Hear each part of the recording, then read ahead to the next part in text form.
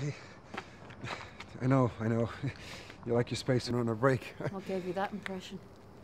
Look, I just wanted to say, uh, I really liked your story. Well, your confession. It, it touched me. What are you talking about? What confession?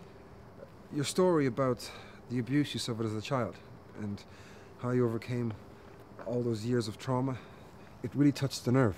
You know, it, it gave me the strength to look at my own past, to confront it, to admit that it happened, to deal with Those it. testimonials were anonymous.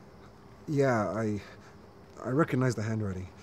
Look, I don't mean to pry. I, I just want you to know that, look, you inspired me.